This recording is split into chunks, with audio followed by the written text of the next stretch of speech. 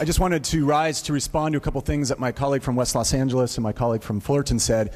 Uh, my colleague from Fullerton said that uh, we're doing something that which we have no control over because we're just condemning a Supreme Court decision. My colleague from West LA said that this is the beginning of action. Well, I just wanted to stress that uh, today we're voting on a- AJR 22, but uh, my good colleagues uh, who've introduced this measure along with me have introduced AJR 32.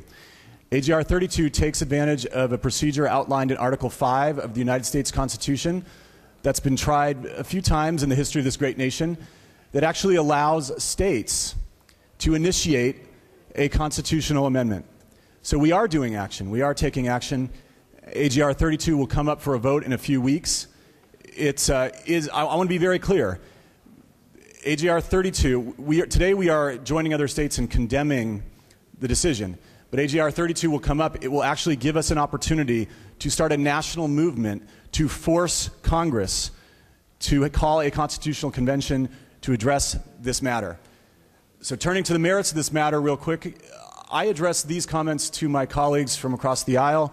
Some of you have expressed on this floor profound respect for the United States Constitution.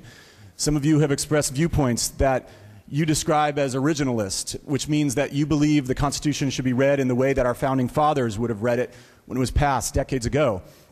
When our Constitution was, was promulgated, there were very, very few corporations. As a matter of fact, in the United States, you could probably count them on two hands. Most corporations were run by the government at the time. These were things like the British East Indies Corporation. They were government sponsored corporations. And the notion that these entities would have the same free speech rights as an individual would have been taken as patently absurd, folks. Patently absurd. That's like saying that, I mean, you know, if, if the wealthy have greater free speech rights than you and I, well, then, you know, that's like saying that the greater religious rights should go to the guy with a bigger Bible. It just doesn't make sense. So I ask for an aye vote.